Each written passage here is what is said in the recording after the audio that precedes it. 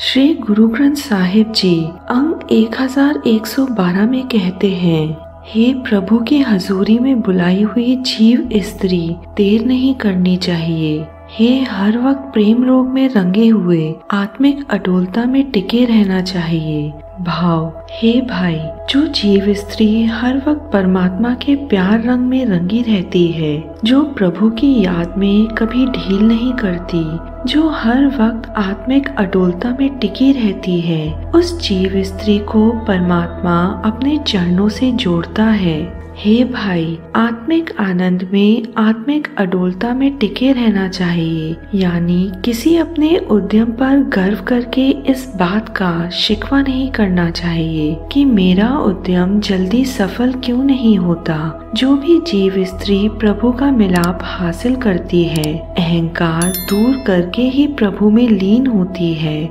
जिसको गुरु मिलाता है, वही मिलती है। वह सदा कायम रहने वाले प्रभु के प्रेम रंग में रंगी रहती है, अपने मन के पीछे चलने वाली जन्म मरण के चक्रों में पड़ी रहती है। हे भाई, जैसे जब कोई स्त्री नाचने लग जाए तो वह घूंघट नहीं करती।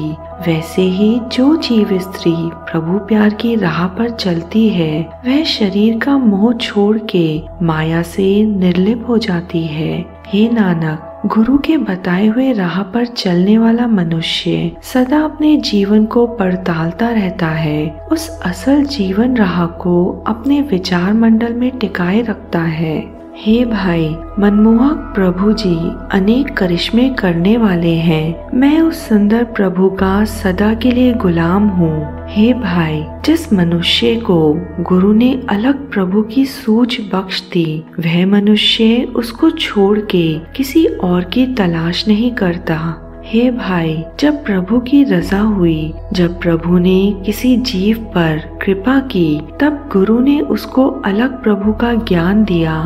तब उसको आत्मिक अडोलता में टिक के वह परमात्मा मिल जाता है, जो जगत का सहारा है, जो सब दाते देने वाला है, जो सर्वव्यापक है और विधाता है। सतनाम श्री वाहे गुरु गुरु जी का संदेश फैलाने और एनिमेटेड वीडियोस बनाने में हमारा सहयोग करें ज्वाइन बटन दबाकर हमारे मेंबर बने या थैंक्स बटन दबाएँ।